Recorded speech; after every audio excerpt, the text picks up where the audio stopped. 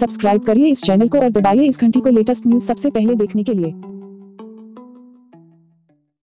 भारत में आपने लोगों को साधु के रूप में बहुत देखा होगा, लेकिन आप लोगों ने नागा बाबा भी देखे होंगे, लेकिन जब बात करने लगे कि महिला भी नागा साधु है तो आपको हैरानी होगी क्योंकि महिला बिना कपड़ों के कैसे रह सकती है, क्योंकि महिला के कपड़े ही उसकी शान होती है। इस संसार में संन्यासिन बनने से पहले महिला को छह से बारह साल तक कठिन ब्रह्मचर्य का पालन करना होता है। इसके बाद गुरु यदि इस बात से संतुष्ट हो जाते हैं कि महिला ब्रह्मचर्य का पालन कर सकती है तो उसे दीक्षा देते हैं। महिला नागा संन्यासिन बनाने से पहले अखाड़े के साधु संत महिला के घर परिवार और पिछले जीवन की जाँच पड़ताल करते हैं। महिला को भी नागा संन्यासिन बनने से पहले खुद का पिंडदान और तर्पण करना पड़ता है। नागा साधुओं के अखाड़ों में महिला सन्यासियों को एक अलग पहचान और खास महत्व दिया जाता है।